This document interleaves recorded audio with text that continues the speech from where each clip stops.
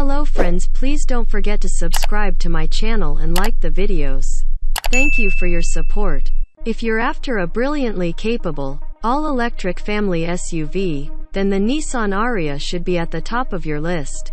The Ariya is only the Japanese manufacturer's second full EV for Europe, following on from the success of its Leaf electric car. The good news is it's been worth the wait, and the Ariya's obvious talents will convince more family buyers to make the move to battery-powered motoring. Comfortable and good to drive.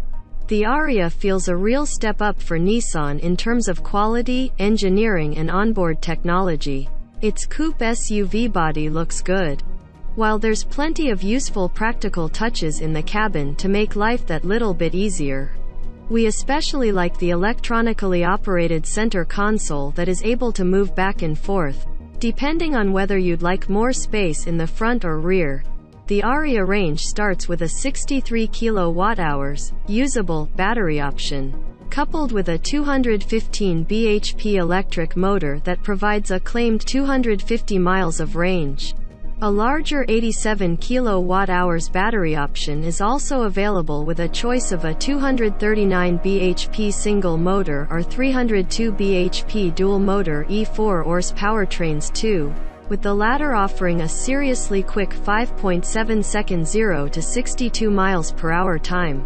But the Ariya isn't just about the numbers, we rate it so highly because it performs strongly across the board. It's the most premium Nissan we've seen yet. An exceptional EV and our 2022 car of the year. The Ioniq 5 has its sights firmly set on premium rivals such as the Audi Q4 e-tron, Volkswagen ID.4 and Tesla Model Y make no mistake, the Ioniq 5 is impressive across the board.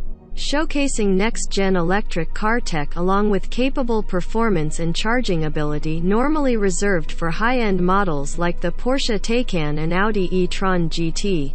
Two battery options are available with three power outputs. The entry 58 kWh battery is paired with a single 168 bhp motor driving the rear wheels, delivering a 0 to 62 miles per hour time of 8.5 seconds and a range of 238 miles. The 214 bhp mid-spec version offers the best range, with a 73 kWh battery increasing the total distance able to be covered on a single charge to 280 miles. The top spec variant uses the same 73 kWh battery, but adds a second motor at the front, giving a combined total of 301 bhp and 605 Nm of torque. Overall range falls slightly to 267 miles. Although performance is much improved with 0 to 62 taking 5.2 seconds. Starting from around £42,000, the Ioniq 5 features a superb infotainment system and generous standard kit, while the available space has to be seen to be believed. It's comfortable, too, so you'll relish the chance of racking up the miles. We certainly did. Which is why we named the Hyundai Ioniq 5 our car of the year for 2021. The Kia EV6 is the sister vehicle to the Hyundai Ioniq 5, so it's a great pick if you love that model's technology, but aren't quite as sold on its retro-futuristic looks. The EV6 is arguably the more conventional of the two, and it's a bit lower and more sporting. This is reflected in its handling with slightly firmer suspension offering sharper responses. It's offered in long-range RWD, long-range AWD and a high-performance GT version, and the entry-level version is our favorite. It not only offers the best range figure of up to 328 miles from its 77.4 kWh battery, but we also found its 7.2 second 0 to 62 miles per hour time to be quick enough. With all-wheel drive, the next step up is undeniably faster, lopping 2 seconds off its benchmark sprint time. But it also has a slightly shorter range. Costs considerably more and doesn't feel entirely comfortable to drive quickly. Every version features impressive ultra-rapid charging at up to 250 kilowatts, so if you can find a fast enough public charger, a top-up from 10 to 80% is possible in less than 20 minutes. Its interior is no less desirable. thanks to a dashboard dominated by a pair of curved 12.3-inch screens for the instruments and infotainment setup. The Enyaq is an all-electric family car that is typically Škoda, that is to say it's practical, well-equipped, comfortable and decent to drive. With top-spec models able to cover over 300 miles from a full charge. It soothes any range anxiety and just gets on with being an excellent family car, that just happens to run on battery power. Škoda has come up with an innovative way of helping you to personalize your new Enyaq. Instead of standard trim levels it offers five individual, design selections, Loft, Lodge, Lounge, Suite and Eco Suite. Each provides a distinct design approach, with different materials used to create a certain style. Standard kit is generous with 19-inch alloy wheels, LED headlights, a virtual cockpit digital instrument display, climate control, cruise control and rear parking sensors all featuring on the base model. Unfortunately, the Enyaq no longer qualifies for the government's plug-in car grant, which is capped at £32,000. The Enyaq starts from just under £35,000.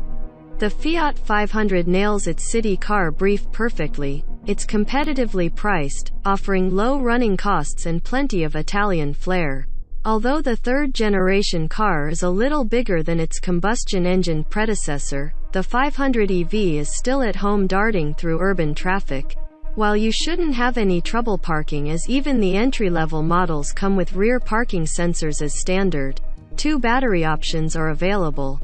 A 42 kWh long-range version and a 24 kWh city range variant. The city range offers up to 115 miles of range from a single charge.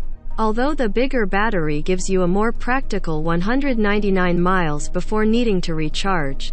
Inside, the cabin is suitably stylish, while you'll benefit from a host of onboard tech. Base cars offer a 7-inch infotainment screen with wireless Apple CarPlay and Android Auto connectivity. While moving up through mid and top spec models brings a rear view camera and a 10.25-inch infotainment touchscreen. The BMW i4 demonstrates the brand's commitment to both an electrified future and its rich heritage for delivering cars that are great to drive. Arguably, the best part about the i4 is the way it handles. Despite weighing in at over 2 tons, it feels brilliant through the corners with precise steering, feels and impressive agility. In fact, Near silent progress aside, you'd struggle to tell the difference between it and a fossil-fueled 4 Series Grand Coupe. The standard eDrive 40i4 produces 335 bhp and 430 newton-meters of torque, which should be plenty for everyday driving. Yet there's also a 536 bhp i4 M50 version, which is the first electric car to be produced by BMW's performance-focused M division.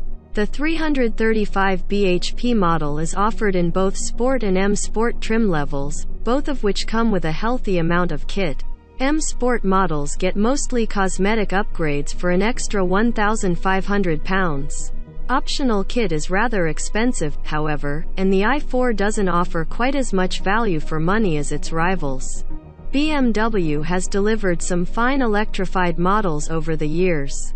With the revolutionary i8 sports car and more mainstream i3 Super Mini standing out as superb examples of the German manufacturer's engineering skill.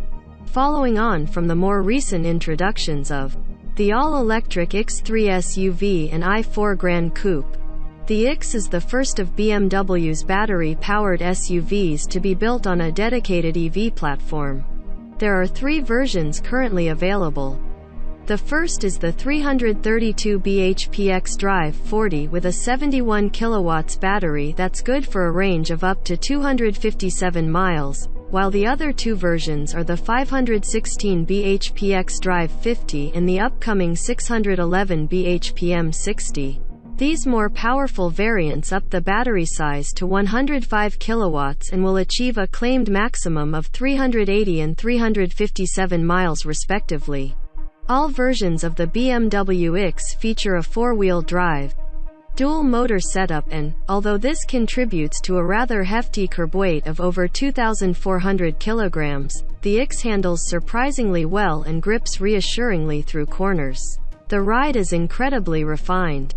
2. With the suspension doing an excellent job of absorbing the vibrations and bumps of even the most pothole-riddled roads. Make your way inside and you'll be greeted by a plush, distinctively styled cabin filled with high-quality materials. Not only does it look and feel good, it performs well, too. With a dual-screen infotainment setup featuring the latest version of BMW's iDrive, the Mustang Mach-E is Ford's first all-electric SUV, and is one of the most important cars for the Blue Oval in a generation, starting from around 43,000 pounds. The Mach-E is a practical and well-priced EV that offers great handling and a generous list of standard kit.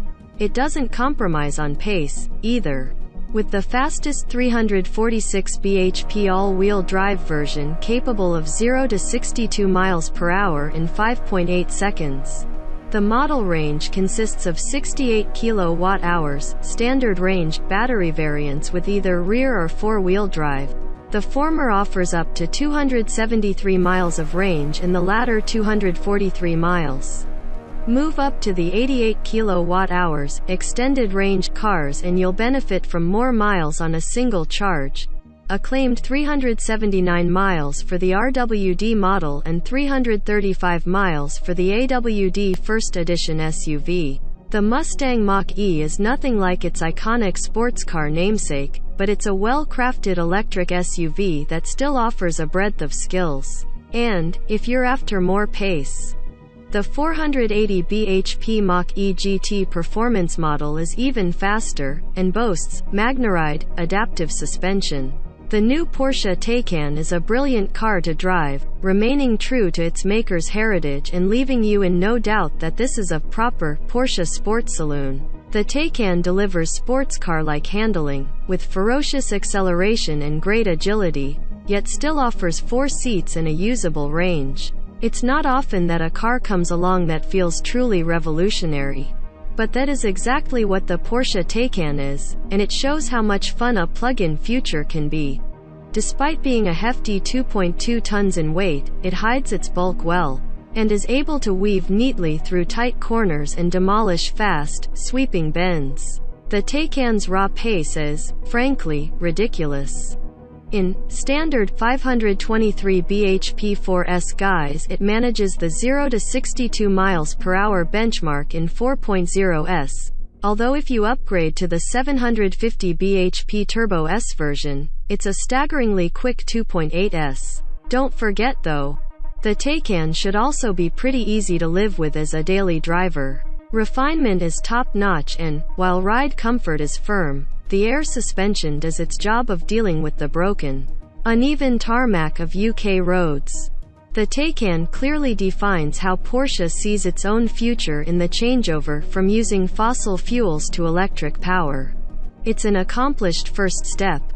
Splendidly executed and one that should ease the minds of the driving enthusiast. The Model 3 was the electric car many had been waiting for. It's a compact executive saloon rivaling the likes of the Mercedes C-Class and BMW 3 Series, a market with broad mainstream appeal, and it's also one of the most convincing electric cars that money can buy. It combines minimalist style, space-age technology, grin-inducing performance, cutting-edge charging tech, supported by the expansive and dedicated Tesla supercharger network, and, most importantly, a long driving range. The entry-level Standard Range Plus model claims up to 267 miles on a single charge, but it doesn't sacrifice performance to achieve this. The electric motor drives the rear wheels and powers the car from 0 to 60 miles per hour in 5.3 seconds, while top speed is 140 miles per hour. The interior is nothing like what you'll find in any BMW or Audi. The minimalist approach might not be to everyone's taste but you can't deny the wow factor. Spend a bit more.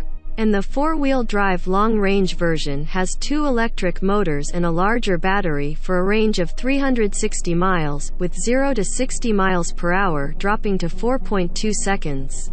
Then there's the Model 3 Performance, which scorches from 0 to 60 miles per hour in 3.1 seconds, but is still capable of 352 miles on a full battery.